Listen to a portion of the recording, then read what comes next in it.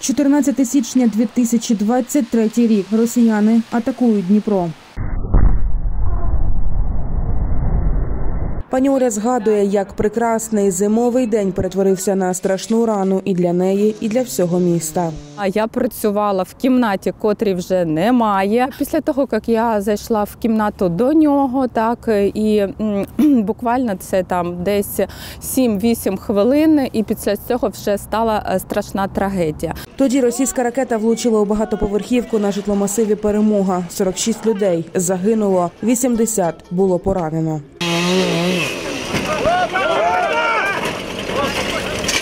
Квартира пані Олі та її чоловіка на дев'ятому поверсі. Вітальня, що була ближче до зруйнованого під'їзду, розтрощена вщент.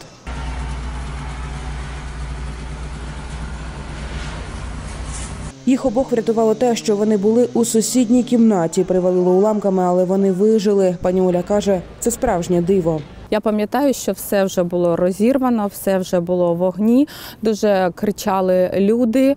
Ем, я так розумію, ті, котрі ще були живі, і ну я не знаю. Нічого не було видно взагалі, тому що був ну пил. Про те, що їхня квартира буквально висить у повітрі, вони не знали і кожну хвилину вірили у порятунок. Ось це фото розлетілося соцмережами. Чоловік пані Олі світить ліхтариком і подає знак, що там є люди. Після цієї трагедії в нього вже там друге ім'я це чоловік з ліхтариком.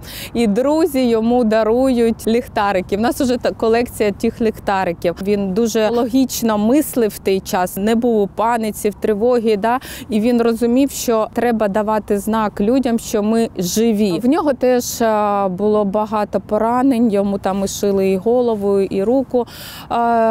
Ну, Вони були по всьому тілу. До них дібралися рятувальники через три години після трагедії. Так як чоловік пані Олі за фахом хірург, він і надав першу допомогу дружині. У жінки була кровотеча з голови. Уламок потрапив у скроню. А як сказав лікар, дівчинка, ти точно ще супер щаслива людина, тому що там декілька міліметрів не влетів тот осколок у, ну, у голову.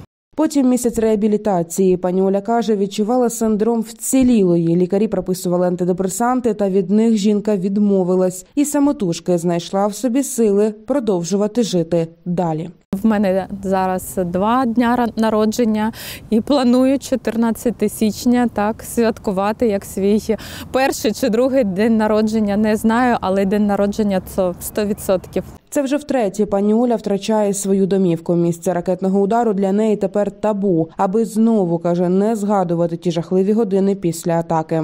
Сама жінка родом із Донецька. Останні вісім років жила у Херсоні. А з початком великої війни і подружжя прибралося до Дніпра. Пані Оля, тренерка і психологиня, каже, після страшної трагедії, як ніхто розуміє, що таке цінувати життя. Це Не відкладати життя на потім. Так Е, немає а завтра, немає понеділка, немає наступного місяця року. Да, а є зараз.